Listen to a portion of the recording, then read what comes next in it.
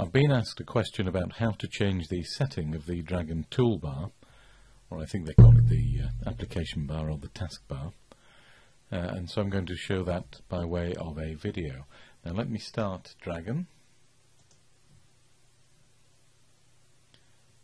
You'll see that at the moment that the web browser I have open uh, is the full size of the screen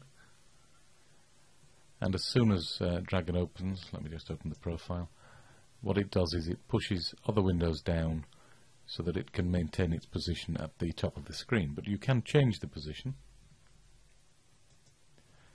and there are I think five options available. So if we have a look at the tools menu here and go into options, this tab, the view tab, will give you the options for changing the position of the Dragon bar.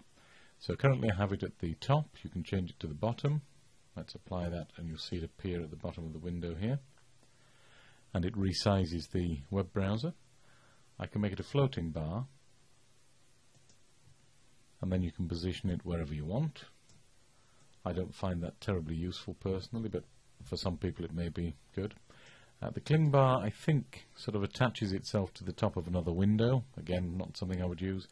And the other possibility is to put it in the tray icon, so it will appear down in the system task tray, which is down here.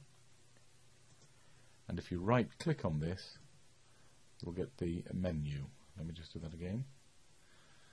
Uh, okay, let's just get rid of that first and then do it. There we go.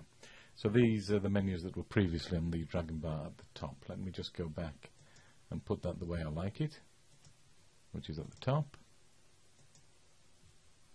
So there are some of the options that you have for positioning your Dragon bar.